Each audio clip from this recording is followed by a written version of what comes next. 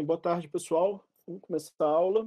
Só lembrando que essa aula está sendo gravada, então, se você se manifestar durante a aula, está concordando que sua imagem e voz podem ser utilizadas.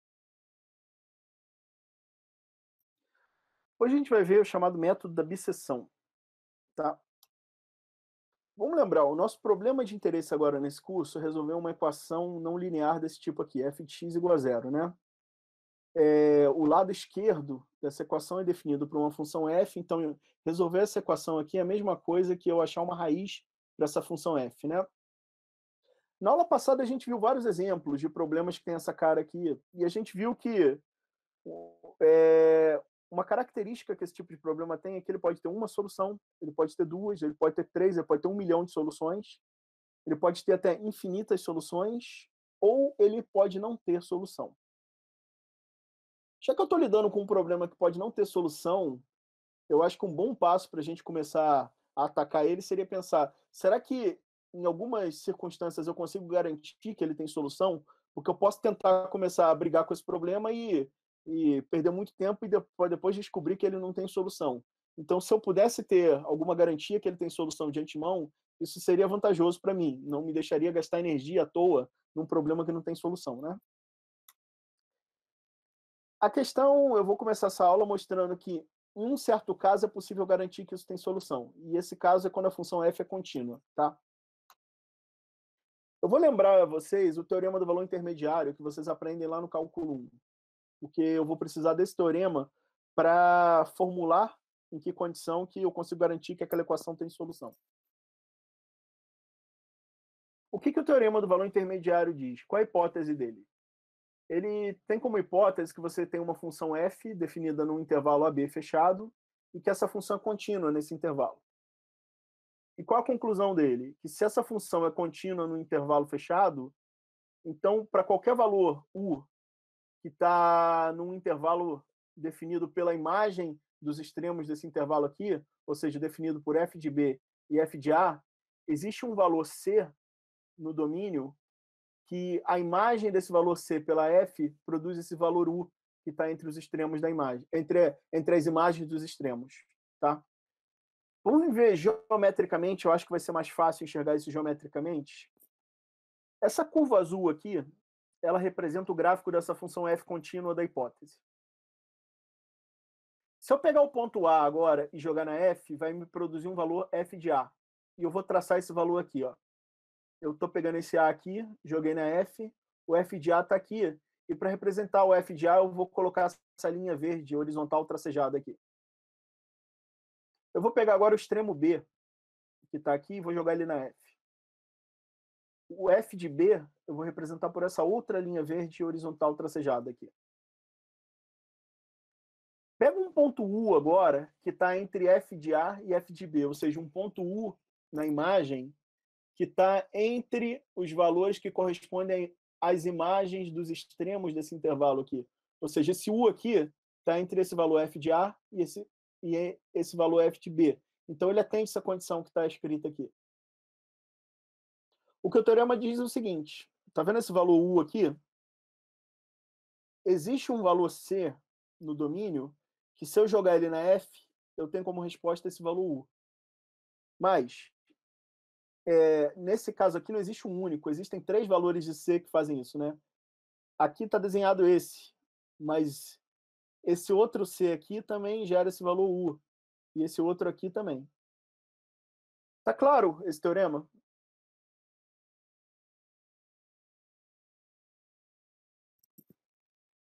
Uma outra maneira intuitiva de pensar o teorema do valor intermediário é a seguinte: eu gosto de fazer uma analogia disso com, com altura.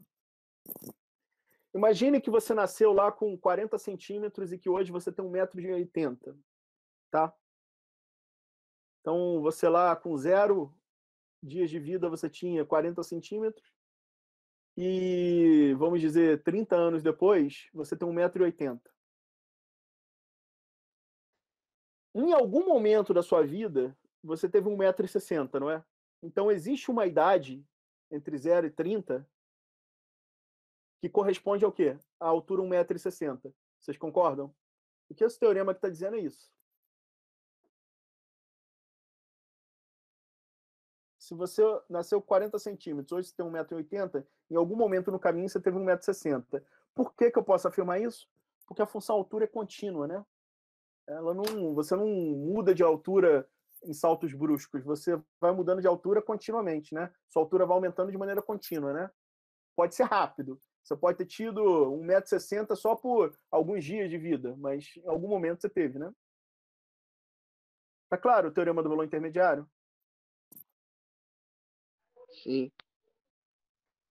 Eu vou apresentar agora o chamado Teorema de Bolzano, que é um caso particular do outro teorema. Em linguagem matemática, a gente gosta de chamar isso de corolário, porque ele é uma consequência muito imediata. Mais que uma consequência, é, ele é um caso particular desse teorema aqui. Tá? Imagine que eu escolha esse valor U aqui para ser o zero. Então, imagine que esse U aqui é zero, ou seja, esse f de A está abaixo, ele é negativo, o f de B está acima, ele é positivo um valor U que zere, que faça, que corresponda a zero, é o seguinte, o f de c é zero, ou seja, o c é uma raiz da função f. Se eu escolher u como sendo zero, vocês concordam?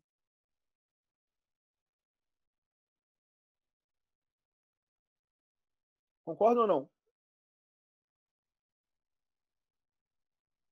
Se eu escolher u como zero, esse valor c aqui que o teorema diz que existe, ele é uma raiz da f. Concordam?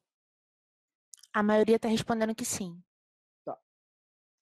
Então eu vejo também que se eu escolher U como zero, o f de A aqui nesse meu desenho vai ser negativo, o f de B vai ser positivo. Ou seja, a, nesse intervalo AB aqui, a função assume valores com sinais contrários, né? Tem hora que ela é negativa, tem hora que ela é positiva. O que o teorema de Bolzano diz é o seguinte, é o seguinte então. Se f é uma função contínua e assume valores com sinais contrários nos extremos de um intervalo, então f tem raiz no interior desse intervalo. A demonstração dele é muito simples, né? Eu peguei esse valor u como sendo zero. O teorema do valor intermediário me diz que tem um c que faz u f se anular, né? Que o f de c é zero. Então, esse teorema aqui é simplesmente um caso particular desse, onde eu escolho u como sendo zero.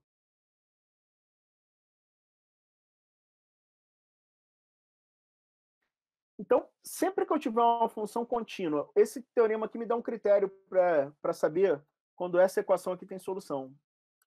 Se eu tenho uma equação definida por uma f contínua e eu conheço um intervalo onde essa f muda de sinal, eu sei que tem pelo menos uma solução ali dentro. Aqui nesse exemplo aqui, se a f fosse essa aqui do desenho, eu teria três soluções, né? Esse teorema garante que existe ao menos uma solução, tá? Ele não diz quantas existem, mas ele garante que tem solução. Então, você pode começar a tentar atacar aquele problema mais resguardado, né? Você sabe que ele tem uma solução. Você, se não tivesse esse certificado de garantia aqui do teorema, você poderia perder muito tempo ali e depois descobrir que ah, essa equação não tem solução. Perdi tempo à toa. Podemos seguir adiante?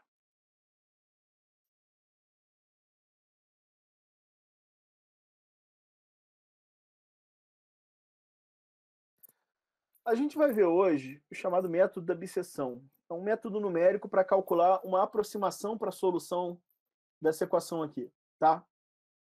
Num certo intervalo AB. O que eu vou fazer com essa equação aqui, eu vou atacar ela num intervalo onde eu sei que a função f muda de sinal. Por quê? Porque se a função f é sendo contínua e mudando de sinal, pelo teorema anterior, eu sei que ela tem solução. Então, as nossas hipóteses de trabalho aqui são que a função f é contínua e que ela muda de sinal nos extremos desse intervalo AB, que, é, que ela tem sinais distintos nos extremos desse intervalo AB, ou seja, ela muda de sinal em algum lugar nesse intervalo. Eu tenho que o f de A e o f de B têm sinais contrários. Ou o f de A é positivo e o f de B é negativo, ou ao contrário, o f de A é negativo e o f de B é positivo. Em qualquer um desses casos, se o f de A e o f de B tiverem sinais contrários, se eu multiplicar f de A por f de B, vai dar um número negativo, né? Então, eu vou trabalhar com essas duas hipóteses, que f é contínua e que f muda de sinal no intervalo B. aqui está um desenho típico de uma situação dessa. Eu tenho uma função contínua, né? eu não tiro o lápis do papel para desenhar o gráfico dela, e eu sei que ela muda de sinal aqui dentro desse intervalo. O que, que eu posso garantir? Que tem raiz aqui dentro, ou seja, essa equação tem solução nesse intervalo AB. Aqui no caso, eu estou mostrando um caso que tem três soluções, mas eu poderia ter um caso e ter uma só. Concordam? Seria esse caso aqui, deixa eu mostrar no quadro.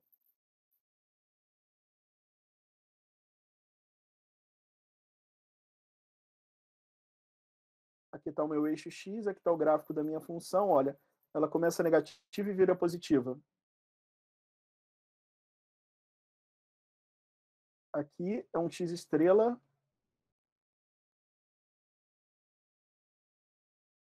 Onde o f desse x estrela é zero.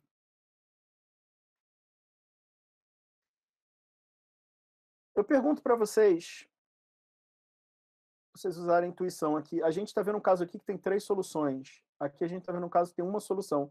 Vocês conseguem pensar um caso que tem duas soluções? Uma função contínua que muda de sinal em AB e ela corta o intervalo AB em dois pontos. Vocês conseguem pensar?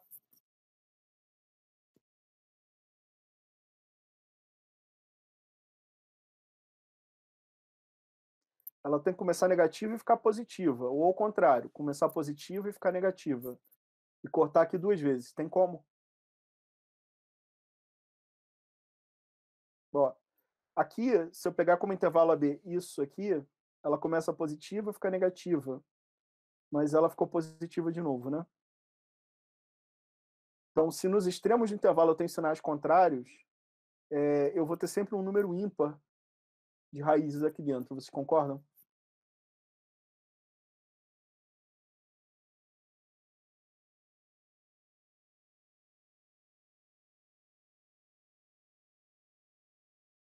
Sim ou não?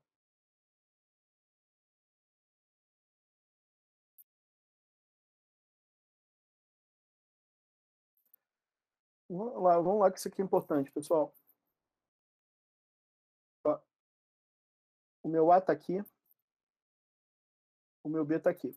Comecei no A negativo, fui para o B, que é positivo. Eu passei aqui, numa raiz. Outra possibilidade seria isso.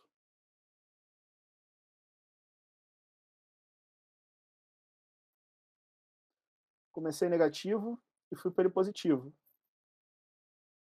Nessa segunda possibilidade aqui, eu cortei o eixo quantas vezes? Três vezes. Eu estou perguntando, tem como eu começar aqui negativo, vir para aqui positivo, cortando esse eixo duas vezes? Tem ou não? Não tem como. Hum? Não tem como. Não, não tem como. Não tem como, né? Tem como isso aqui. Cortei aqui. Tangenciei aqui. Aí você tem uma raiz aqui. Outra aqui, né? Mas se você cortar, se, se a função vier positiva, negativa, aí ela vier aqui para baixo, ela tem que subir de novo. Concordam?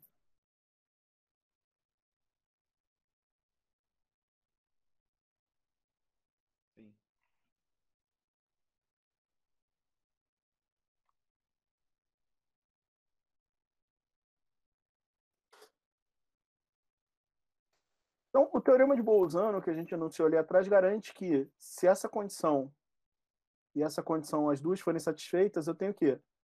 Eu tenho uma raiz no, inter, no interior do intervalo AB, né? Por quê? Função contínua e que muda de sinal no, que muda de sinal no intervalo, né? Professor. Oi.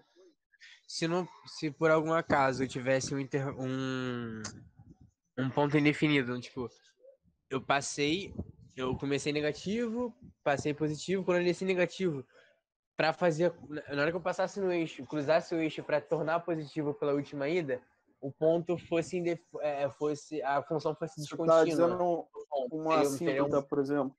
É, seria aberto. Isso, isso, isso contaria como é, é já que não, como não tem uma raiz, ele não é definido nessa raiz, isso é contar? Você está dizendo uma situação tipo essa, né? É, tipo isso. Não, você tem que ter cuidado. É... Essa função é contínua, né? mas não pode ser esse tipo de intervalo que, que você tem uma assíntota, não. Tem que ser um intervalo sem assíntota, tá? Entendi, entendi. Valeu, professor. É, a questão é o seguinte, tem uma tecnicalidade aqui no teorema que é o seguinte. Eu estou colocando um subintervalo da reta aqui como domínio, tá vendo? Essa f está definida em todos os pontos desse intervalo. Se eu pegar esse intervalo AB aqui que está me propondo, aparentemente o teorema estaria violado aqui, né? Só que esse intervalo AB aqui, a função f não está definida nesse ponto. Então esse não é um intervalo válido. Só é intervalo válido um intervalo que a função esteja definida em todos os pontos, entendeu? Entendi, entendi, professor. Valeu. Professor, Oi. mesmo que eu tenha uma descontinuidade removível, eu não tenho como aplicar esse teorema? Se a descontinuidade for removível, você remover ela, colocar, aí sim. Mas é... enquanto você tiver um salto, não, né? Entendi, obrigada. É que é- essa descontinuidade aqui não é removível, né? Agora, se fosse uma descontinuidade assim, ó,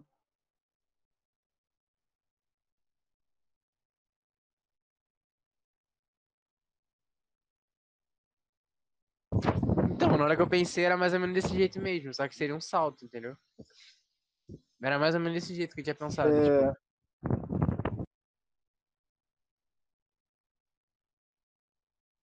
você está querendo fazer o valor da função saltar, né? Isso, isso. Era exatamente desse jeito que eu tava falando, que, tipo, ela tem uma raiz, ela não ia ter uma raiz compreendida nesse eixo, só que ia ser num lugar diferente. Vamos pensar esse caso aqui. Aqui é negativo, aqui é positivo, tem sinais contrários, né? Mas a função não é contínua nesse ponto, entendeu? Então, aqui, esse- o teorema não se aplica porque f é descontínua, né?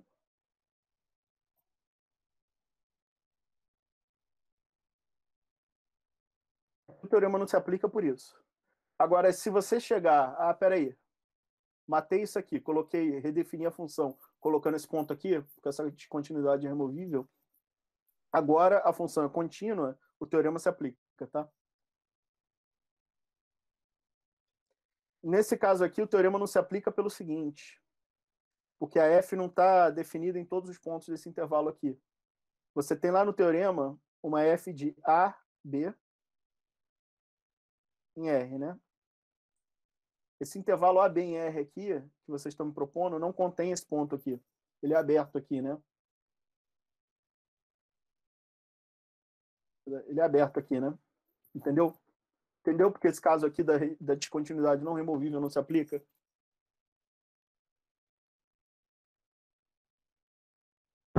Entendi, entendi. Uma boa pergunta. Então, vamos lá. Eu sei que tem uma raiz. Qual é a ideia do método da bisseção que a gente vai estudar aqui hoje? Eu estou procurando uma raiz aqui nesse intervalo AB. Eu sei que ela existe.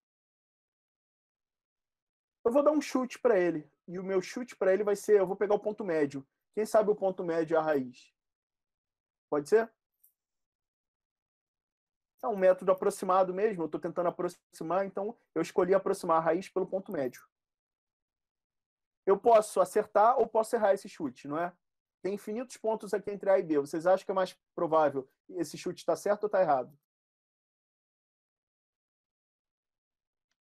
Tá errado. O mais provável está errado, né? Deixa eu fazer uma figura aqui.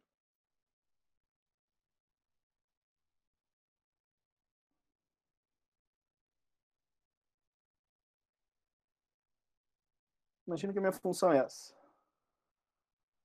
O intervalo AB está aqui. A função é contínua, né? E tem sinais opostos nos extremos. Aquela é positiva, aquela é negativa, né? Eu tenho uma raiz aonde? Aqui. Onde está o meio desse intervalo aqui? Deixa eu exagerar esse desenho.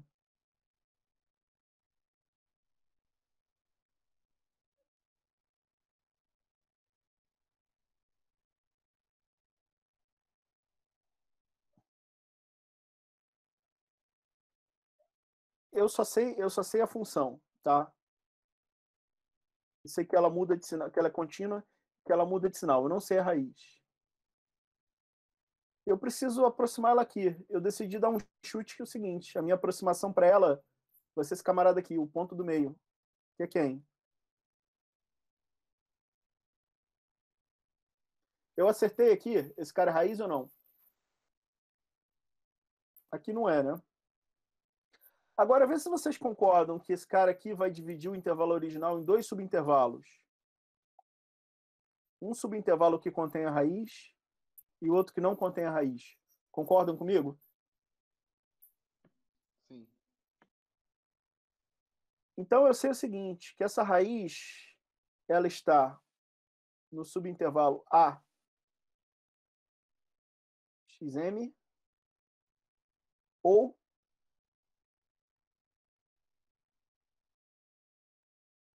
ela está no subintervalo xmb. Vocês concordam? Se eu conseguir identificar que ela está nesse intervalo ou nesse, eu posso fazer o mesmo procedimento, se vocês concordam, que agora eu sei que a raiz está nesse subintervalo aqui por inspeção visual, não é? Vê se vocês concordam que agora eu posso pegar o ponto médio desse outro subintervalo aqui e usar ele como aproximação. De novo, essa aproximação não é não é raiz, mas ela dividiu o intervalo AXM num intervalo x2m, AX2m, x2m, xm. Vocês concordam? Eu vou dizer assim, esse aqui é o xm1, esse aqui é o xm2, e eu posso continuar essa ideia aqui, eu posso botar um XM3 aqui, vocês concordam? E ir fazendo isso toda a vida. Vocês estão vendo que eu estou cada vez mais me aproximando da raiz fazendo isso? A ideia aqui é bissectar os intervalos sucessivamente até que você construa uma aproximação suficientemente próxima da raiz. Está clara a ideia?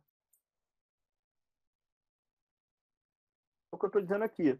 Você pega o ponto médio com base no sinal do f de xm, ou seja, eu pego esse valor e jogo na f e vejo se isso é positivo ou negativo. Eu decido se a raiz está no subintervalo da esquerda ou se ela está no subintervalo da direita. Se o f de xm for zero, eu já achei a raiz, mas é pouco provável que isso aconteça. Eu vou repetir esse procedimento aqui tantas vezes quanto eu desejar para obter a minha aproximação. Concordam? Deixa eu mostrar visualmente essa ideia aqui. Deixa eu só autorizar que tem gente entrando.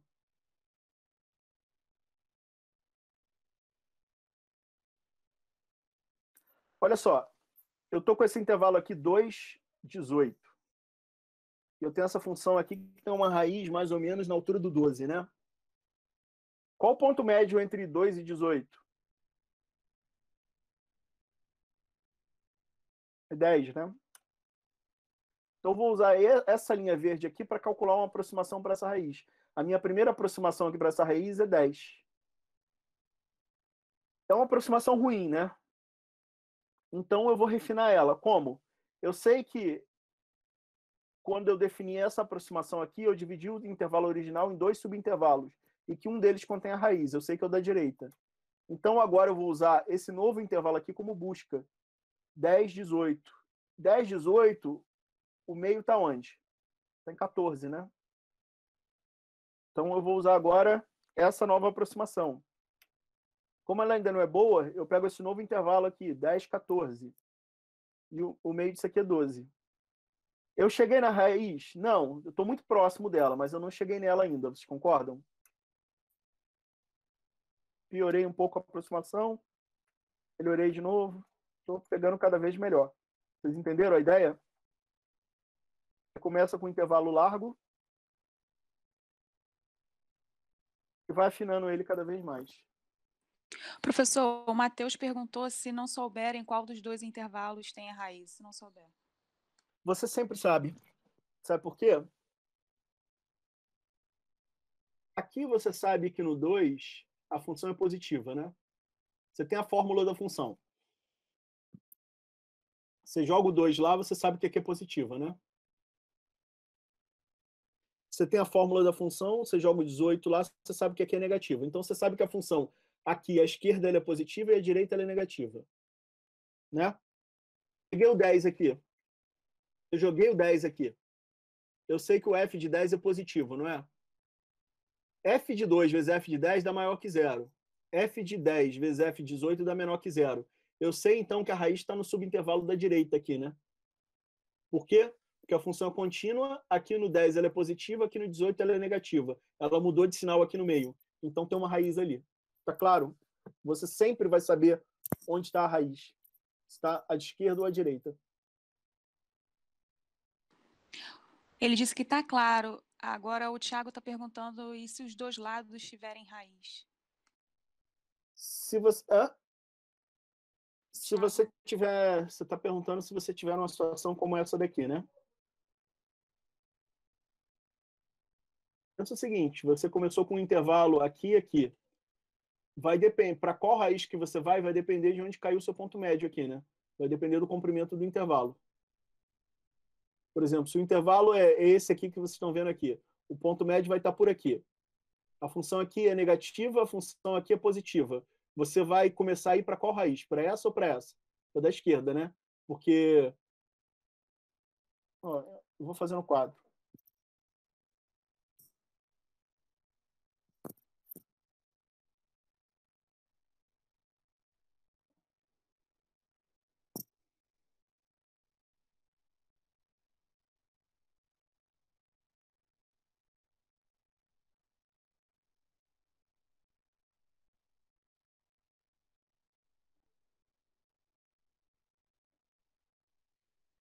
Então, aqui a função é negativa, né?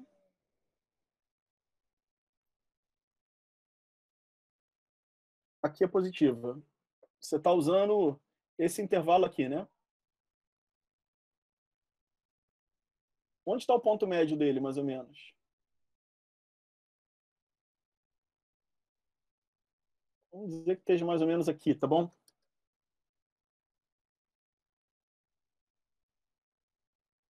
Você tem uma raiz aqui, você tem uma raiz aqui, tem uma raiz aqui. A raiz que você está procurando, ele vai dizer o seguinte, ó. Aqui a f é negativa, aqui a f é positiva. Nesse ponto aqui, a f é positiva. Positivo com positivo dá positivo. Esse teste vai pensar que não tem uma raiz aqui desse lado. Negativo com positivo dá negativo. Ele vai pensar que a raiz está aqui. Então, você vai buscar agora, o seu novo intervalo de busca vai ser esse aqui. Aí você vai pegar um novo ponto médio aqui, né? Um outro aqui, um outro aqui, um outro aqui. Você está indo para essa raiz aqui. Tá? Vamos imaginar um outro cenário é o seguinte. Esse intervalo aqui fosse um pouquinho mais curto.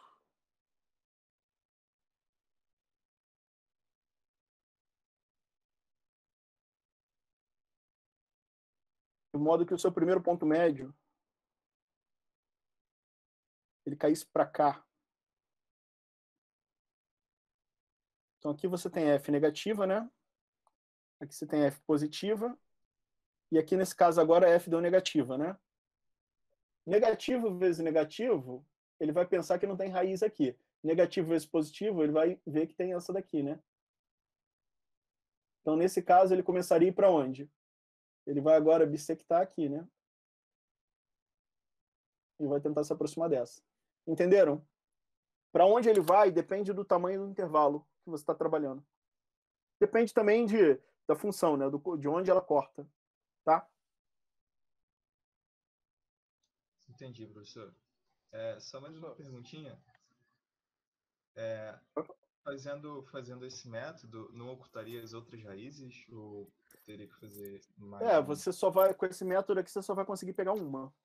É, entendi. Mas frequentemente você só está interessado em uma solução, entendeu? Tá bem, tá bem.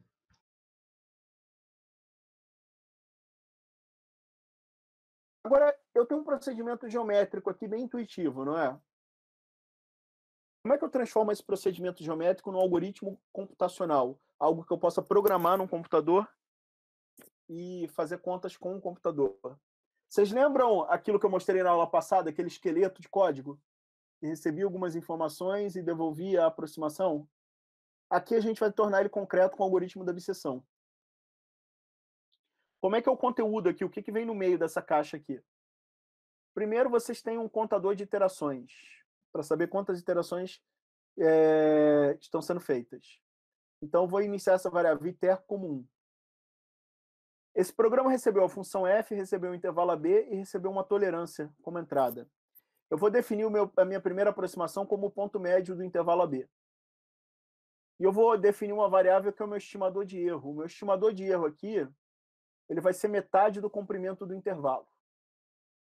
Vê se você não concorda que esse estimador de erro faz sentido.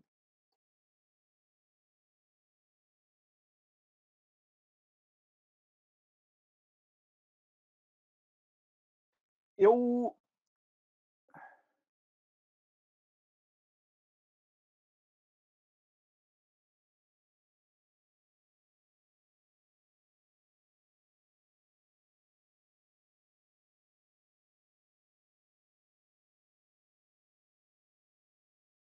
eu estou dando um uma primeira aproximação aqui. Esse aqui é o meu ponto médio, tá bom? Vocês concordam? O erro é o quê? É a distância entre a raiz e a aproximação, não é? Vê se vocês concordam que esse erro aqui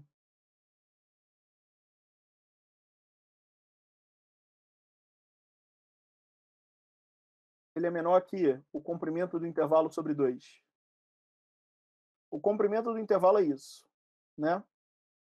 Esse erro aqui, ele é quem? Ele é ele tem um valor igual é o comprimento desse segmento amarelo aqui, não é?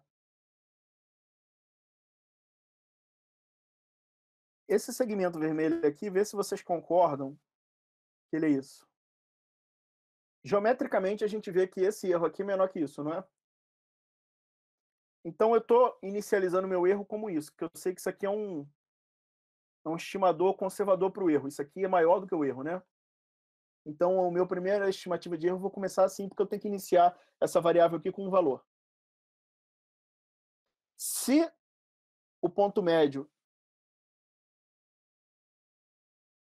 for raiz, ou essa estimativa de erro for menor que a tolerância, eu paro. Do contrário, eu vou iniciar um laço. Como é que é esse laço? Eu vou fazer um laço enquanto o erro for maior que a tolerância.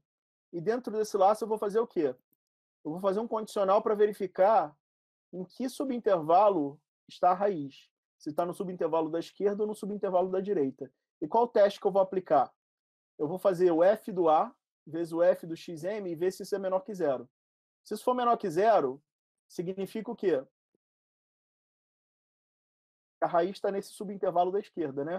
Aqui, ó, aqui o f é positivo, aqui o f é negativo, então a raiz está nesse subintervalo aqui. Não vai estar no da direita, porque aqui é negativo e aqui é negativo, né? Então, negativo com negativo vai dar positivo. Esse teste para rastrear onde está a raiz é esse aqui, né? Se tiver no subintervalo da esquerda, o meu novo intervalo de busca vai ser o A e no lugar do B eu vou colocar esse XM. Então eu troco o B por XM. Do contrário, se a minha raiz estiver aqui, eu troco o A por XM, tá? Depois que eu vi em que subintervalo que está a minha raiz, eu vou atualizar a minha estimativa. Aqui é um A mais B sobre 2, mas lembra que eu atualizei ou A ou B. Então, isso aqui é uma nova aproximação, um novo ponto médio. E a minha estimativa de erro, eu estou pegando agora como metade do comprimento desse novo intervalo. E eu vou atualizar o contador de iterações. Eu comecei como 1 aqui, agora 1 é, iterações vai ser iterações que guardam 1 mais 1, 2, né? E assim por diante. Eu vou fazer esse laço enquanto o erro for maior que uma tolerância. Depois, quando esse laço quebrar, eu retorno essa aproximação para o usuário e digo quantas iterações eu fiz. Vamos transformar esse código abstrato aqui num código concreto? Está aqui. Ó. Eu vou fazer uma função bisection que recebe a função A, B e a tolerância. ela vai me retornar o ponto médio, que é a aproximação, e o número de iterações que eu gastei. Inicializei o contador das iterações, inicializei a aproximação, inicializei o estimador do erro e estou fazendo um laço aqui. Eu estou botando um fprintf aqui para mostrar os valores na tela. Que iteração que eu estou, a estimativa da raiz e a estimativa de erro. Vou fazer aquele condicional para ver em qual subintervalo que a raiz está. f de a vezes f de xm menor que zero. Eu atualizo b, do contrário eu atualizo a. Atualizo a minha estimativa para a raiz, atualizo a minha estimativa do erro, incremento o contador e pronto. Alguma questão nesse programa aqui?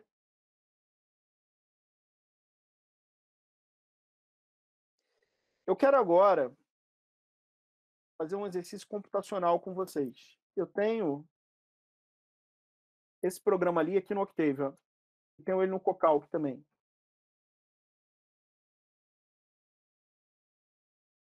Eu vou copiar aqui no chat esse programa a gente fazer um exercício. Eu peço que vocês abram é, o Anoc, o Cocalc ou o Octave e colhem esse código aqui que vocês estão recebendo.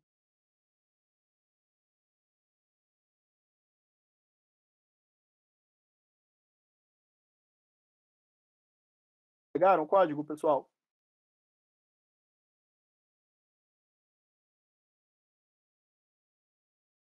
Professor, Oi. pode explicar melhor o fprintf e o que está dentro do parênteses dele? Eu não entendi um pouquinho. O fprintf vocês já aprenderam isso no Python, né? Que é para imprimir informações na tela, não é? Eu não lembro muito, professor, então. Mas. que diz imprimir na tela? O que, que ele vai imprimir na tela? É o que está entre parênteses aqui. O que está entre parênteses? Você tem um, uma string de caracteres aqui, dentro desse colchete, que diz o quê? Ele vai mostrar iter, percent 3D, ele vai mostrar um valor inteiro aqui com três dígitos. Put, raiz, ele vai mostrar um real, um float, com 16 casas decimais. E erro, ele vai mostrar um real com 16 casas decimais. Quem são os valores que vão entrar aqui em iter, root e erro? No iter vai entrar o próprio iter, né? essa variável que conta a iteração.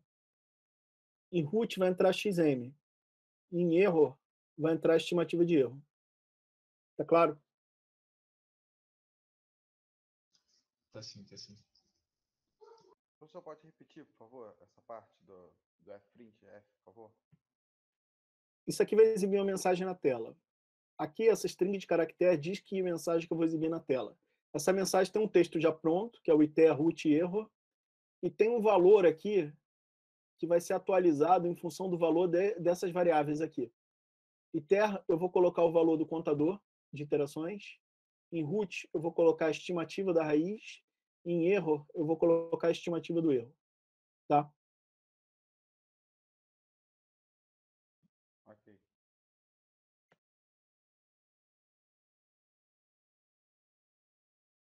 Esse barra N aqui, vocês devem lembrar, isso aqui é para quebrar uma linha, né? É para ele imprimir isso aqui e ele faz uma quebra de linha, que depois o que você for imprimir na tela depois, não vai ficar na mesma linha desse, para ficar mais organizado, tá?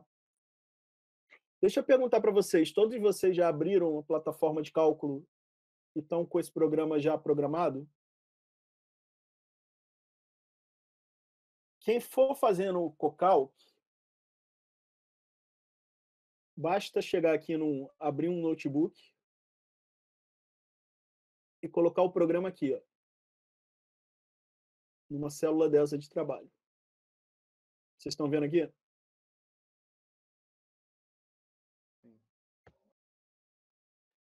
Quem for fazer no Anoc ou no Octave, tem que colocar o programa lá no editor e depois tem que salvar ele como bisection.m.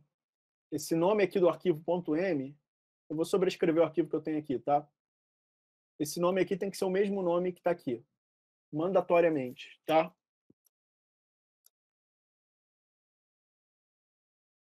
Em seguida, acho que eu posso, eu posso fazer alguns exemplos agora, computacionais. Eu estou definindo A aqui como zero, eu estou definindo b aqui como sendo 1. Eu estou definindo a tolerância aqui como sendo 1 vezes 10 a menos 9. A função que eu vou definir aqui é essa, x ao quadrado menos 2. Se eu voltar aqui nos slides, esse experimento que eu estou fazendo aqui é o quê? É tentar achar a raiz dessa função aqui no intervalo 0,2.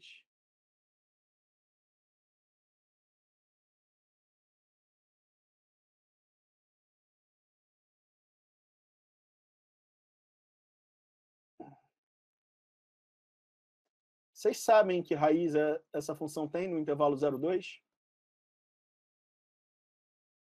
Como é que é o gráfico dessa função? Uma parábola assim, não é? Tem duas raízes, essa e essa. Essa aqui é qual? Raiz de 2. E essa daqui? Menos raiz de 2, né? Onde eu coloquei o intervalo de busca?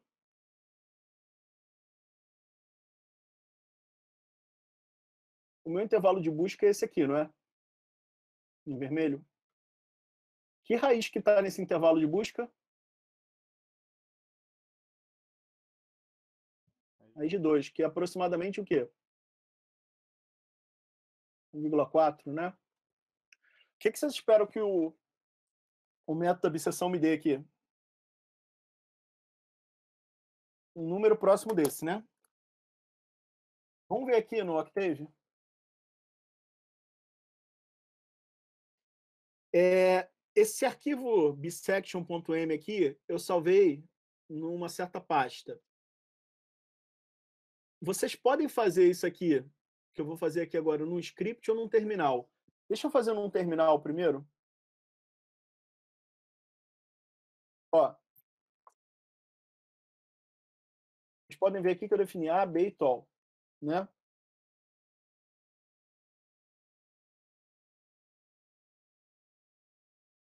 Eu vou definir a minha f agora. E o ponto e vírgula para mostrar aqui que ele definiu f como sendo x ao quadrado menos 2. E agora eu vou fazer uma chamada àquela função bisection. Bisection é uma função, né? ele realiza uma tarefa para me auxiliar. E eu estou passando como entrada aqui o f, o a, o b e tol. Façam isso aí antes de eu apertar Enter aqui, façam isso no, na plataforma de vocês e me digam o que, que vocês têm de resultado.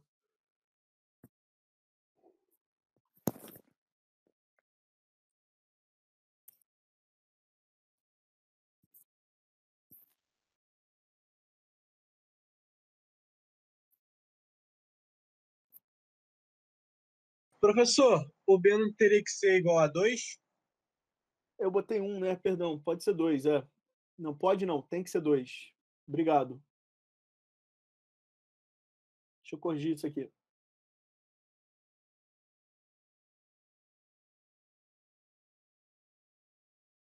Tá? Se você agora colocar B aqui, 2.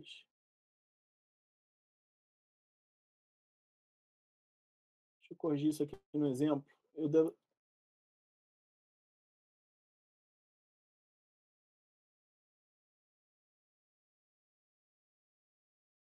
Alguém já fez? Que resultado vocês obtiveram? 1,41 e vários números.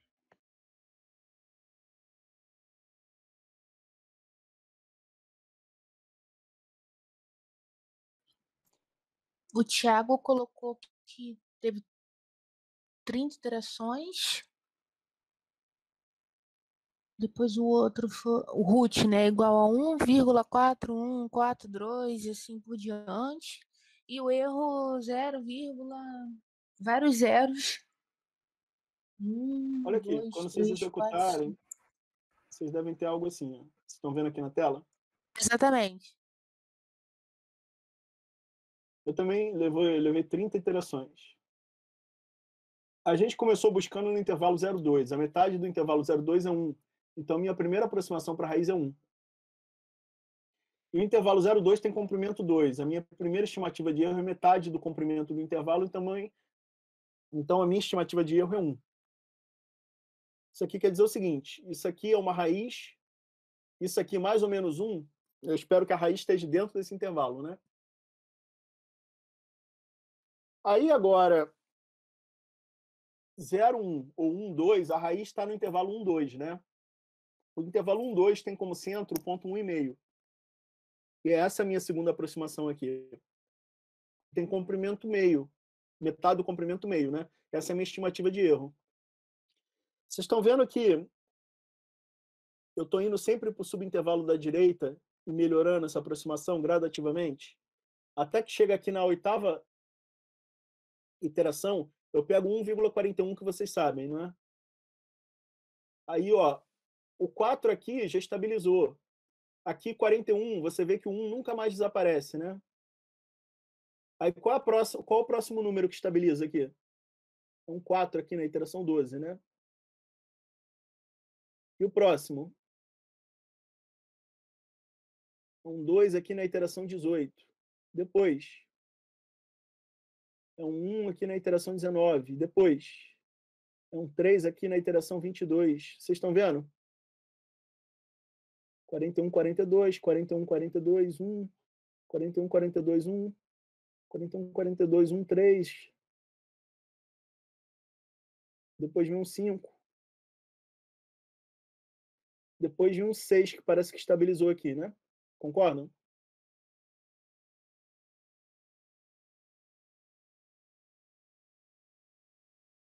Vamos ver isso aqui geometricamente. Eu vou executar um programa aqui que vai ilustrar isso. Aqui é 2, né?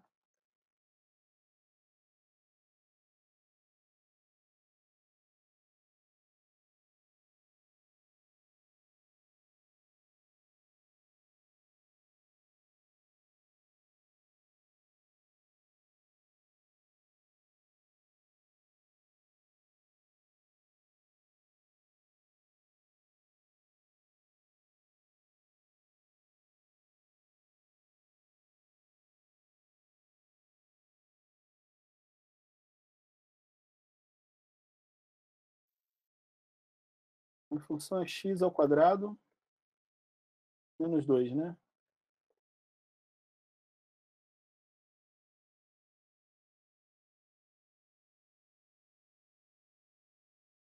Se eu executar esse programa aqui, ó, vocês estão vendo um arco de parábola aqui?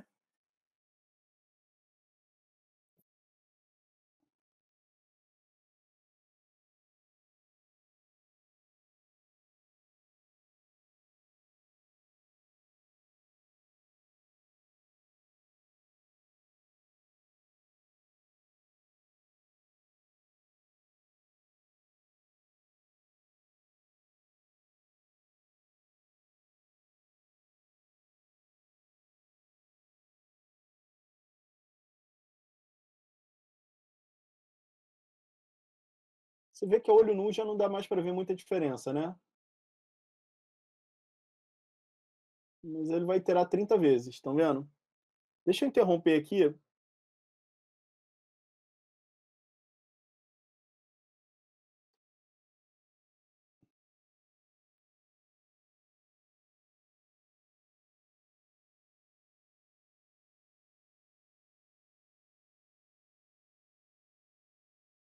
Estão vendo aí dançar ao contrário agora, né? Vocês viram a ideia, como é que é?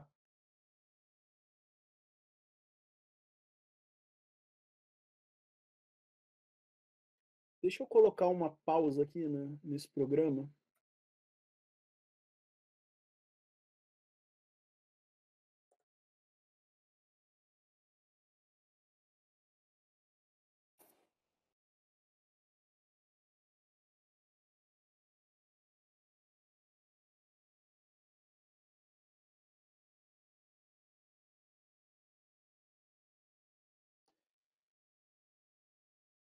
Eu fazer uma coisa aqui que eu acho que ele vai.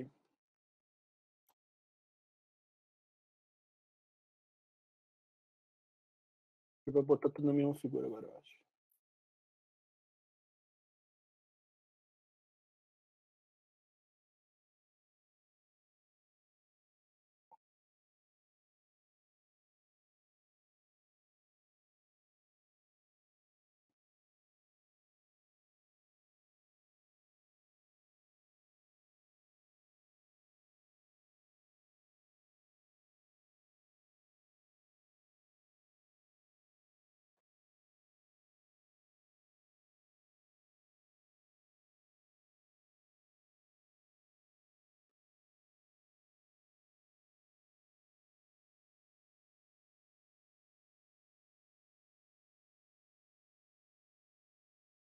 Vocês estão vendo que geometricamente a gente já não vê mais diferença nenhuma. Por quê? Porque já é uma casa decimal muito alta, né? Mas se a gente quiser ser super preciosista, quero uma, uma solução com 10 casas decimais corretas, a gente consegue, né? Tá? Deixa eu interromper o programa aqui. Eu quero fazer um outro exemplo agora.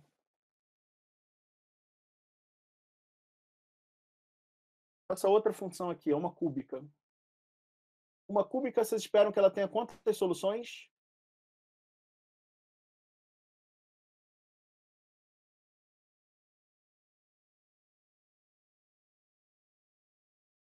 Três soluções, né?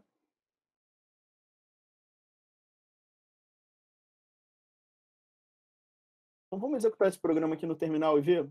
Eu estou buscando uma raiz no intervalo 21, 29, com tolerância 10 a menos 9.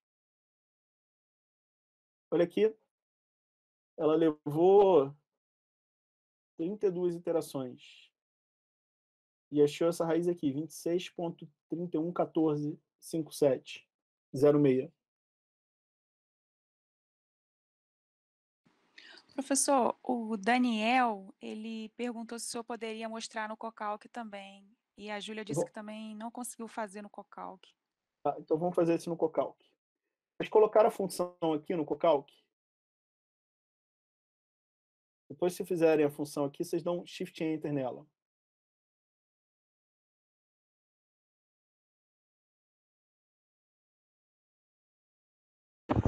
Aí, Professor, esse shift enter por algum motivo não foi. Tenta, se não, não foi, tenta dar um run aqui, ó, aperta esse botão executar aqui, mas vê se o, o programa não está congelado. Às vezes tem que dar aquele play aqui de cima. Olha o primeiro exemplo aqui, deixa eu compartilhar com vocês o código dele. É esse aqui.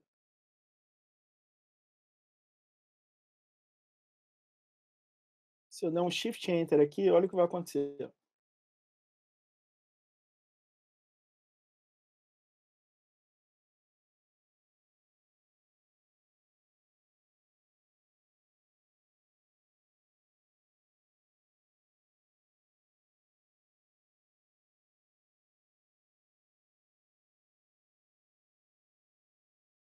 Conseguiram?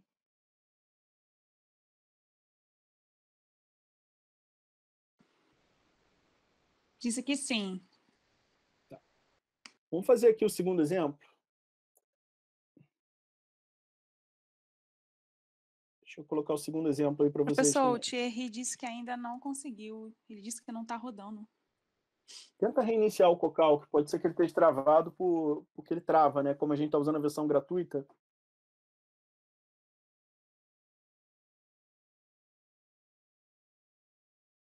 Se vocês executarem esse segundo, ele vai levar 32 iterações para achar uma solução. Agora vamos fazer o seguinte, em vez de 10 a menos 9 aqui, vamos colocar 10 a menos 3. O que vocês esperam que aconteça aqui?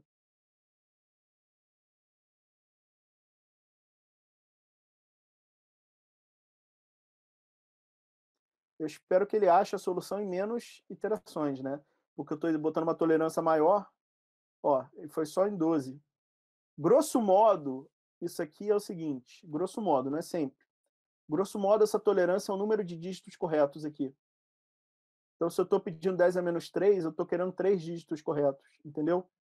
Vamos ver quantos dígitos estabilizaram aqui?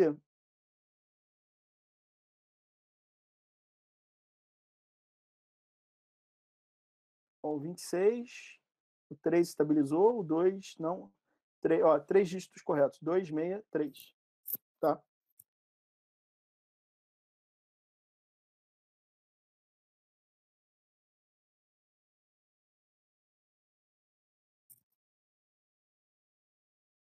Vocês podem brincar com o intervalo de busca também, podem mudar o intervalo de busca. Vamos ver essa função aqui com o gráfico? Eu quero fazer ela aqui.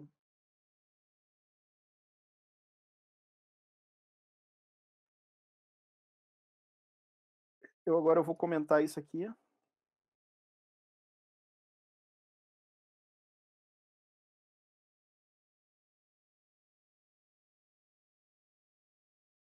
Eu vou te comentar isso aqui que é o, que é o, é o segundo exemplo, tá?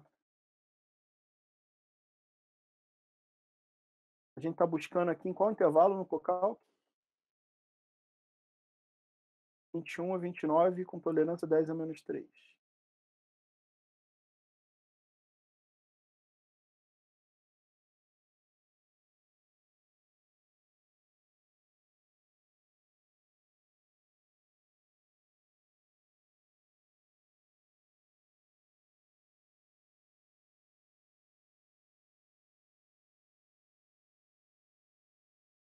Eu estou buscando fora da. Peraí.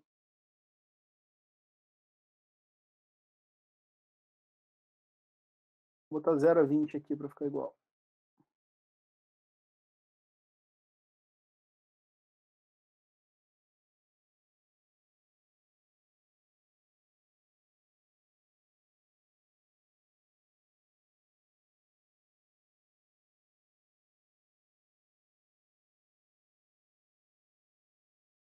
É parecido com aquele exemplo que eu fiz lá, né?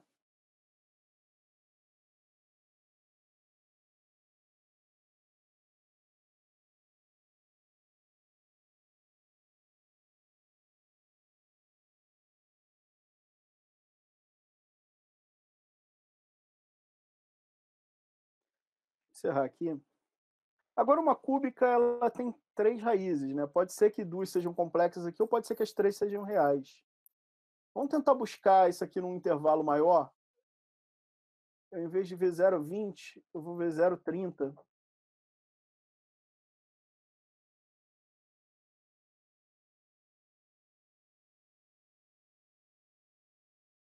De fato, essa cúbica aqui tem três raízes, né? Eu mudei o intervalo de busca agora para 0,30. Para qual raiz que eu estou indo? Continuo indo para a mesma, né?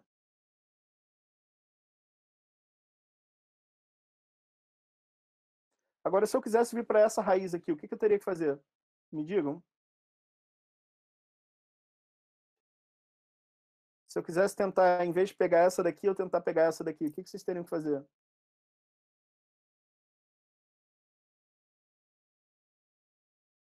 Vocês teriam que passar um intervalo de busca que não contém essa raiz aqui, né? Por exemplo, 20, 30. Pode ser?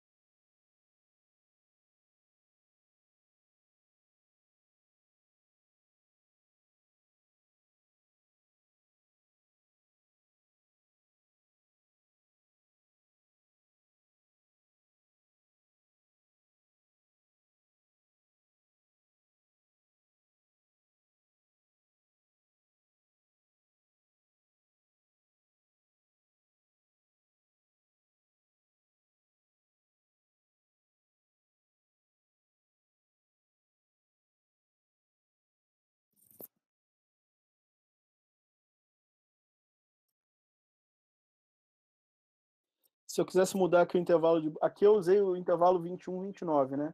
Cheguei na raiz 26. Lá no início eu usei o intervalo 0,20, né? Se eu mudar o intervalo aqui, que raiz que eu vou chegar?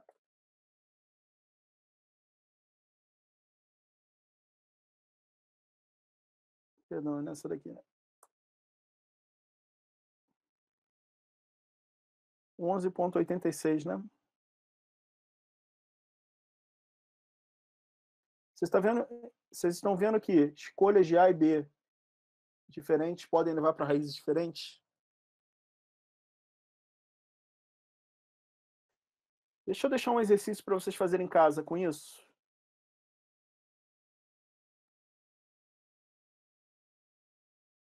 Façam esse aqui em casa, tá bom?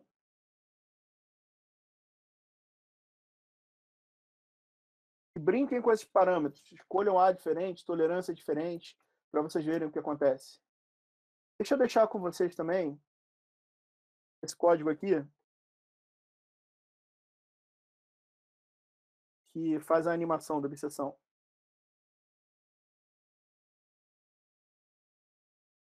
Vou colocar tudo no AVA também, tá?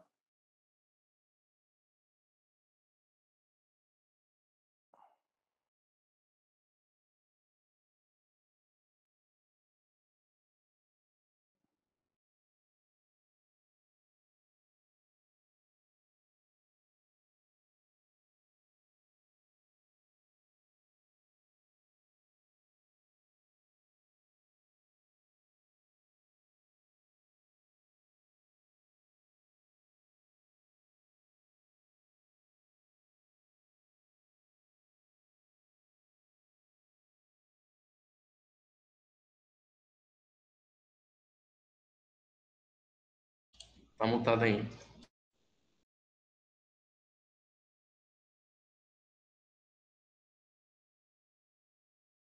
Opa. Ah, ainda bem que a gravação não parou. Vocês receberam os códigos, né? Eu, eu coloco eles no AVA depois. Pessoal, para vocês pensarem em casa, eu vou confessar uma coisa para vocês. Tá vendo esse bisection.m que eu passei para vocês? Intencionalmente eu coloquei um bug nessa implementação, ou seja, esse programa tem um erro. Esse erro não se manifestou em nenhum dos exemplos que eu mostrei para vocês. Mas tem situações que esse erro pode se manifestar e fazer com que a resposta que você vai obter seja errada. O que, que eu quero que vocês façam? Eu quero que vocês tentem identificar onde está esse erro e corrigir ele. A gente pode discutir isso na aula de laboratório com mais detalhes. Onde está esse bug, tá? Então, a segunda parte do exercício computacional é modificar essa rotina para corrigir o bug, tá bom? E eu peço também para vocês colocarem umas salvaguardas no programa para evitar potenciais erros. Eu não coloquei aqui para o programa ser mais simples, mais didático, mas em programação a gente costuma colocar, nossos programas são maiores porque a gente coloca um monte de salvaguardas contra possíveis erros de entrada do usuário. Pessoal, o meta-absessão, a apresentação que eu fiz para ele, se valeu da intuição geométrica. Eu não fiz prova matemática nenhuma, eu não apresentei nenhum resultado, eu explorei muito a intuição. É, a gente, pelo teorema de Bolzano lá, fica claro que se você tem uma função contínua e que ela muda de sinal no intervalo, tem uma raiz ali. Então a gente se valeu nisso para um para construir um procedimento iterativo que vai buscar essa raiz.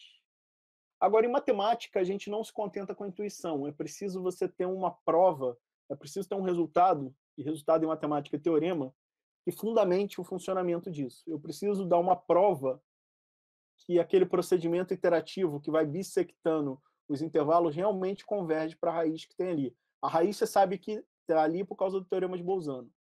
Como é que eu posso garantir que essa sequência vai convergir? A intuição diz que vai, mas eu queria uma prova mais rigorosa. A professora Nancy agora vai apresentar então para vocês um teorema e discutir alguns fatos da, da, fundamentação teórica do teorema que garante o funcionamento do beta bisseção, tá? Eu vou passar a palavra para Nancy agora, Nancy, eu vou parar de compartilhar minha tela.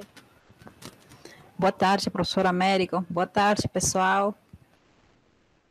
Boa tarde, Nancy. Você quer que eu continue compartilhando minha tela não, e você não, fala não, ou prefere compartilhar não, eu, eu, eu, vou compartilhar aqui. Tá, obrigada, tá. professor. Tá. Eu vou desligar o meu vídeo para melhorar a conexão, tá? Tá certo, obrigada.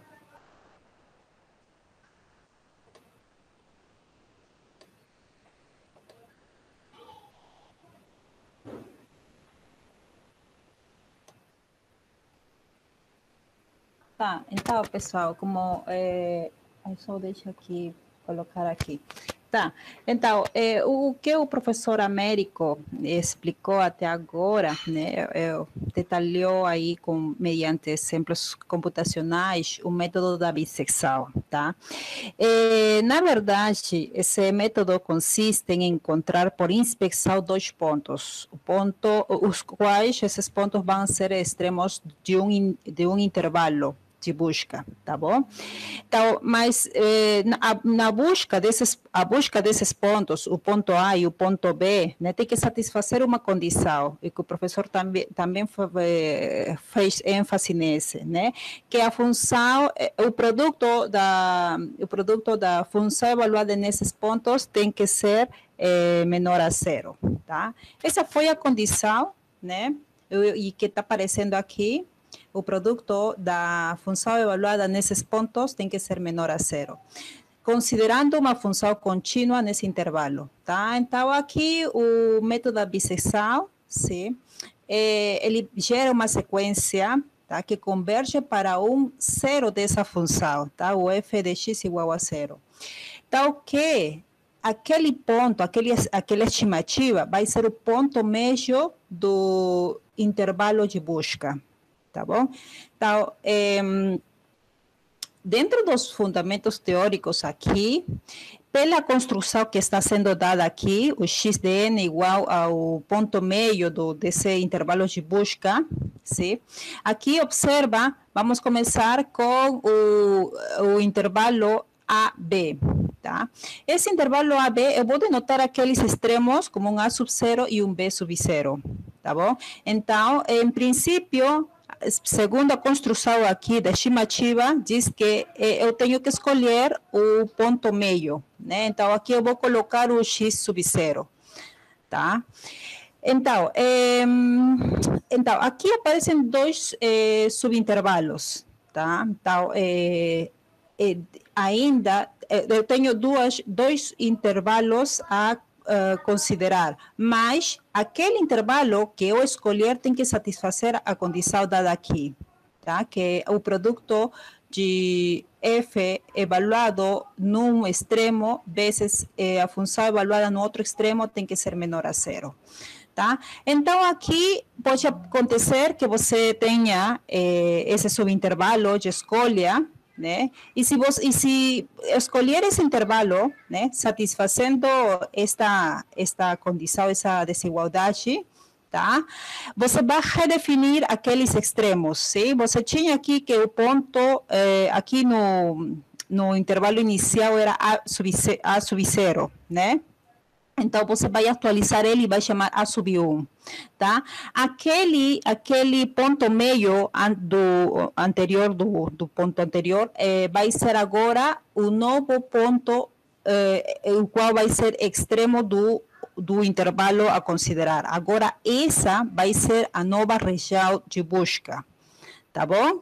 Então, como uh, o, as sequências geradas, o x sub n, são ponto meio do intervalo de busca, eu vou considerar esse, esse x1 ponto meio desse intervalo. Tá bom? Tá, mas esse foi no caso que a gente escolheu esse, esse subintervalo, tá? Poderia ter acontecido que você escolhesse, né, satisfazendo aquela desigualdade, né, eh, poderia ter o caso que a gente escolhesse esse. Então, aqui, eh, esse x0 vai ser atualizado agora como um A sub 1. Tá? E esse B sub 0 vai ser um B sub 1. Então, você percebe que para um, inter, para um intervalo de busca inicial, você tem que, eh, você eh, gerando esse XN, na verdade, ele vai, vai dar uma nova região de busca, uma, um novo subintervalo, tá?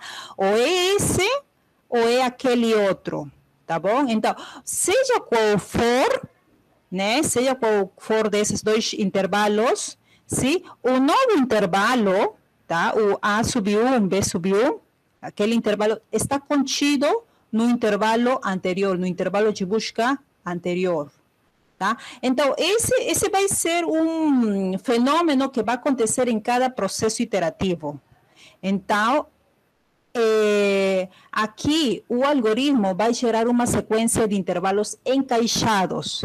Sim? Encaixados por quê? Porque este intervalo sim, vai conter a esse intervalo.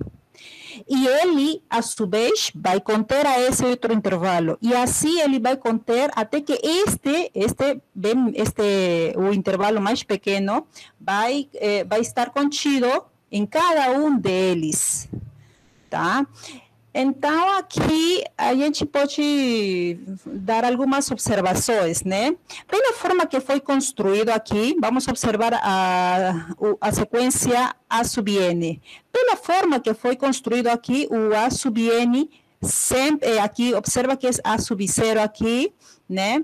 Esse vai ser um A sub 1, tá? É, ou poderia ter sido o SB1 aqui, né? Tanto faz, sempre vai estar à esquerda, tá? Então, o, o máximo que pode ter ele, observa que ele é uma sequência não decrescente, tá? E ela é limitada superiormente, sim? E qual é o, o limitante superior? O limitante superior é o valor de de sub-zero, sempre. Então, o A sub N vai ser uma sequência aqui, pela forma como foi gerado aqui, vai ser uma sequência eh, não decrescente e limitada eh, superiormente por B sub N. Quer dizer, o A sub N nunca vai sair desse, nunca vai ser maior a esse B sub zero, né? acho que é bem intuitivo aqui verificar, né? Analogamente para a sequência B sub N, Observa que B sub, o sub zero está, aparece aqui, o B eh, no, no, no lado direito tá? O extremo direito. É, o B sub 1 ainda é o extremo direito de, desse intervalo, o, e assim. E, e, ou se não, se estiver no outro lado, o B sub 1 vai ser no, lado, no o, o extremo direito do outro intervalo, tá? Então, aqui, pela forma como está sendo, eh, sendo gerado esses eh, subintervalos, sim, eh, a gente pode perceber que esse B sub n é, é uma sequência não crescente, tá? E ela está limitada inferiormente, sim? se você percebe aqui, ela está limitada inferiormente pelo valor de A sub zero. Tá? Então, lembra em análise real, se você tem uma sequência eh, não crescente e ela é limitada inferiormente, então a gente pode dizer que essa sequência né, eh, tem limite, tá? Então, aqui as sequências A sub N e B sub N, né, generadas aqui, elas, eh, elas eh, têm limite, tá? Tá bom? Então, vamos lá aqui. Tá. Eh, a cada intervalo gerado, sim, vamos ter eh, que o comprimento desse intervalo sim, é igual a, é, a diferença dos extremos dividido por 2. Né? E essa é pela construção que a gente fez, né? do, dos, a, do x sub n. Tá? É, então, aqui temos essa igualdade aqui para o, o segundo, é, aqui, vamos lá, aqui, cadê? Está aqui. Então, esse aqui, o comprimento desse subintervalo, sim? É a metade do comprimento do intervalo anterior. E sim, aqui a gente pode perceber isso, tá? Então, e assim vai acontecer eh, nos, nos passos seguintes. O comprimento do novo intervalo, sim, é igual a, a, a diferença, né, do, do intervalo anterior dividido por 2. Sim? Mas nesse caso, observa aqui, no caso de B sub 2 menos A sub 2, né, que é igual a 1, B sub 1 menos A sub 1 dividido por 2, mas esse B sub 1 menos, menos A sub 1, a gente tinha no anterior, a continha eh, a gente tinha no anterior, e ele é igual a B menos A dividido por 2, tá? Então, eu vou substituir aqui tá? Na segunda relação, vou substituir e ele vai ficar agora é, B menos A dividido por 2 ao quadrado. Tá? Analogamente, vou fazer aqui para o terceiro, o terceiro passo iterativo, sim, ah, vou fazer análise do comprimento desse, desse subintervalo e ele vai tomar essa forma, observa aqui. Então, aqui, eh, acompanhando uma lógica aqui, uma, uma lógica aqui, então a gente percebe que, né, generalizando aqui, o B sub n menos 1A sub n é igual a a diferença de, dos extremos eh, dos extremos do intervalo inicial dividido por 2 elevado a n, tá? Então, essa é a primeira relação que a gente tem, tá bom? É só fazer essas, eh, essas continhas que intuitivamente dá para, dá para acompanhar esse. Tá? Então, eh, além disso, vou considerar eh, esse x eh, chapéu, né, né, que pertence a esse intervalo, tá? Um A sub n, vírgula B sub n. Então, esse, eh, a diferença, sim, o que o professor aqui falou também que representa ele o erro, sim, tá bom? Aqui o erro absoluto, ele, eh, ele está acotado superiormente por essa, eh, por essa diferença, tá? Mas observa aqui que ele ainda depende de n, tá? Então, é, é, é, bom, se, bom, aqui ele, este, essa desigualdade é simples de, de obter, né? Do fato que x, esse x chapéu está dentro desse intervalo, E sendo que x sub n também é o ponto meio desse intervalo, então, a diferença desse em valor absoluto é menor ou igual à diferença desses dois pontos, tá? Em, em valor absoluto, tá? Tá bom? Então, tendo essas duas, eh, duas relações, aquela que a gente conseguiu aqui, tá? E a, a, aqui, a, a relação que a gente está, ten, que está tendo aqui, tá? É, eu posso fazer uma substituição, né? Tipo, eu deixa eu ver aqui. Não, eu, eu, posso fazer, eu posso fazer uma substituição, a relação 1 em 2, tá? E fazendo isso, tá? Esse, é, esse erro da, né, da estimativa aqui, é menor ou igual ao módulo da diferença desses pontos. Mas a diferença desses pontos a gente obteve no, no, na relação anterior, Tá? Então, a gente vai pegar esse, esse termo à direita, vai pegar e vai colocar aqui. Tá bom? Então, aqui, eh, o erro absoluto aqui eh, tem um, eh, tem um é menor ou igual à diferença dos extremos do intervalo dividido por 2 a n. Então, é este o limitante superior para o erro absoluto. Tá certo? Tá. Tudo bem.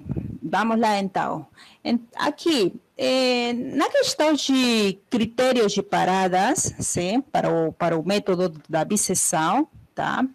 Vamos considerar uma precisão, eh, eu eh, denotei aqui como TOL, sim, a tolerância, uma precisão, tá?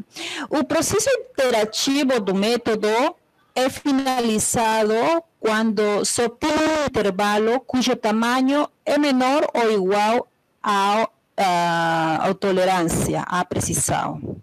Tá? Então, aqui, é, qualquer ponto nele contido pode ser tomado como uma estimativa. Tá?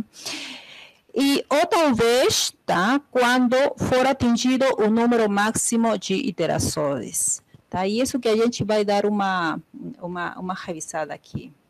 Tá? Então, na verdade, o que se deseja é obter um valor n, sim, um, um valor n natural, tal que satisfaga essa desigualdade. Tá? Então, em princípio, observa aqui que a gente tinha, cadê ele? A gente tinha esse, essa igualdade, tá? Observa esse.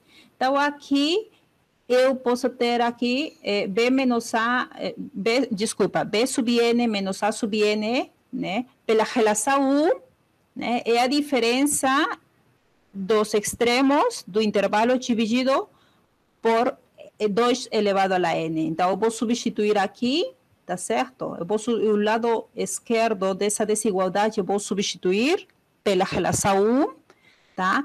E ele é menor ou igual a eh, a tolerância. Só que eh, esse 2 N que aparece como denominador vai passar para outro lado, né? A tolerância para passar também para vai passar como denominador, tá? É uma conta algébrica aí que a gente faz, tá? Então a gente tem essa desigualdade, tá? Então nós queremos o N, tá? O N é o número de iterações, tá? Então na hora de aplicar o log em base 2, se eu estou aplicando aqui, a gente está aplicando o log em base 2, tá?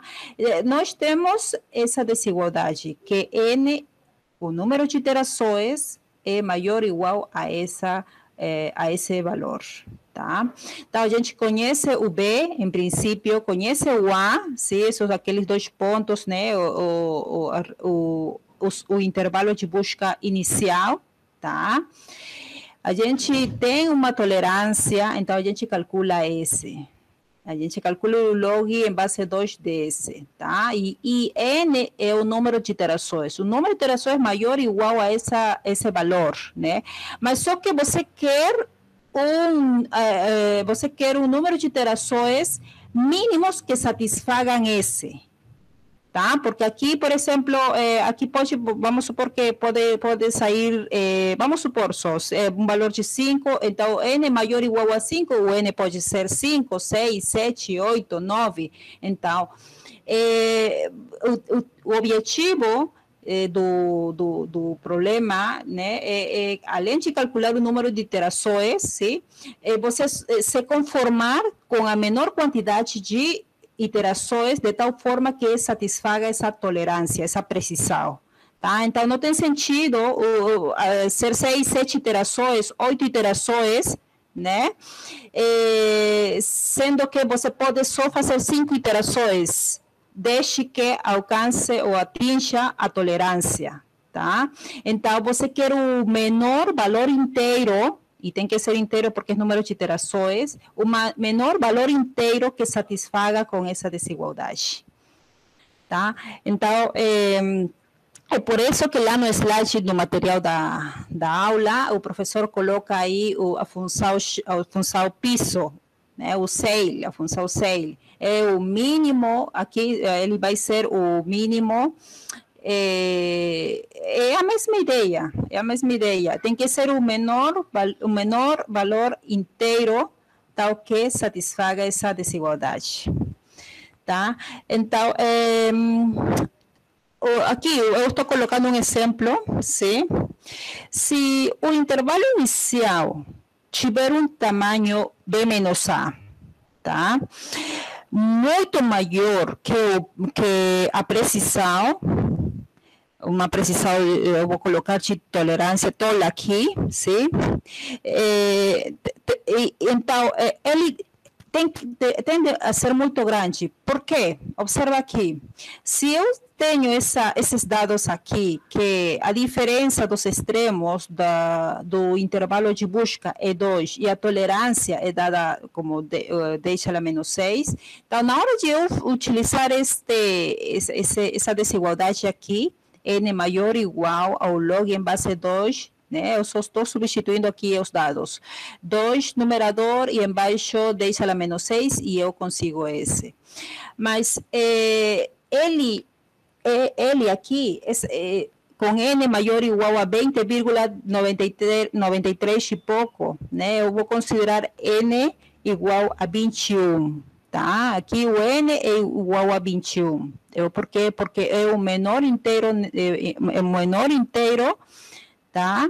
Que satisfaz essa desigualdade, tá? Então, com, com 21 iterações, é, o, o algoritmo estima, calcula uma estimativa, né? Considerando a tolerância dada aqui. Ih, vixe, considerando a tolerância dada. Então, mas observa aqui que são 20, 21 iterações, ou 30, ou 30 iterações, como, como no exemplo foi dado com o exemplo computacional que o professor deu. Então, aqui pode-se perceber que a convergência é lenta, tá? E sim, de fato, a gente vai estudar outros, outros algoritmos que em poucas iterações você alcança essa tolerância, tá? Então, é, é, o método da biseção é, é, lenta, tá? Mas também, é, co- como foi dado aqui no, aqui no, na, na, na- no teorema, sim? Ah, é, aqui o método exige pouco esforço computacional, né? Percebe aqui que eh, as sequências que estão sendo geradas são pontos meios, tá? Então ele ele exige eh, pouco esforço computacional, tá? E além disso, e o mais importante aqui é que o método sempre gera uma sequência convergente. Olha que só nesse cenário, só se for sa- satisfeito que a função for, é, con- é contínua e satisfaz essa desigualdade, tá? Então aqui eh, eh, esse é o resultado do teorema da convergência do método bissecção, sim? Então, eh, lá no vídeo, a gente, o professor né, pediu eh, vocês fizerem as continhas da prova e tudo isso, mas, eh, pessoal, não é difícil, não, tá? Eh, só uma questão aqui que eu quero fazer ênfase, tá?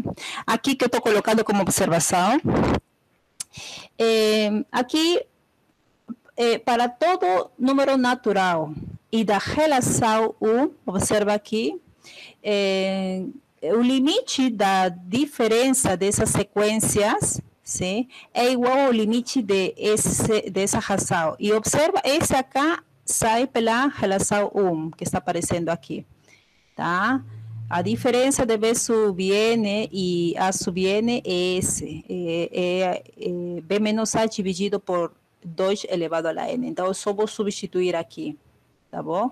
Agora, aplicando o limite aqui, ele é zero, tá bom? Tá, então, al- além disso, sim, eh, você sabe, em princípio, que essas sequências A sub N e B sub N convergem, né? E são convergentes, né? Pelo fato que foi construído aqui. Lembra que a gente falou que esse A sub era não decrescente e limitado, limitado superiormente? Então, eu posso garantir que o limite dessa sequência A sub eh, existe. Tá? Além disso, eh, o B sub N, a sequência B sub N era uma sequência não decrescente e limitada inferiormente. Então, eh, por resultados de análise, eh, análise real, a gente pode garantir a existência do limite dessa sequência. Então, aqui todos felizes porque tanto a sequência A sub N e B sub N eh, existem limite, né? Então, é- existe o limite dele, existe o limite dele, então eu posso fazer, o, eu posso abrir esse limite, posso abrir com cada um deles. Então, aqui eu posso dizer que o limite de B sub N é igual ao limite de A sub N.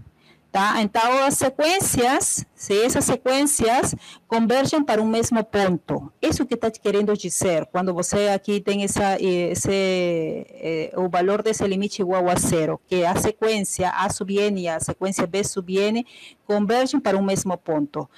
Tá bom? Por isso estou colocando aqui. Além disso, tá? em cada iteração, Sim, a gente tem essa eh, tem que tem que ser satisfeito essa eh, essa relação, não é? Eh, logo, olha só aqui, eh, o produto dessas funções evaluadas nesses nesses extremos, sim, eh, é menor ou igual a zero. Ele está aparecendo aqui no lado esquerdo, tá? E ele é igual a a função evaluada no limite dessa sequência. Por quê? Porque pelo dado, pelo, pela hipótese aqui do, do, do teorema, a função é contínua. Tá? Como a função é contínua, sim, o limite da função evaluada na, nesse, no, nos pontos dessa sequência é igual à função evaluada no limite da sequência. Tá? Então, para cada um desses, tipo, eh, o limite entra dentro, do, dentro da função. Tá? Isso está querendo dizer aqui. Do fato, só pelo fato de que f é uma função contínua, o qual é a hipótese do, do teorema. Tá bom? Então, a gente tem esse, tem esse. Mas só que a gente só tinha do anterior que elas, essas sequências, essas duas sequências são convergentes e convergem para o mesmo ponto. Tá? Em- Sim, só, essa é a última linha que estou aqui. Sim. Então, a função é evaluada no ponto limite de A sub N, eu estou chamando de X, é, X chapéu, vezes, e eu também vou colocar X chapéu aqui, porque esses limites é, são iguais, tá? Então, o produto dele é maior ou igual a zero, que quer dizer o, a função eh, nesse ponto ao quadrado é maior ou igual a zero, tá? Então, aqui, né, pela, aqui, eu posso garantir que eh, f de x chapéu é igual a zero, o qual que esse x chapéu é, é o zero da função. Tá? E esse é o, o, o esse é o, o que eu queria contar sobre o teorema de o teorema de convergência do método de Bissau, tá? Sim, é um pouco um pouco teórico, mas eu acho eu acho que ah, vale a pena aí discutir algumas coisinhas aí, tá bom? Tá, tá. É só isso, pessoal. Só isso. Obrigada, professor. Perguntas aí?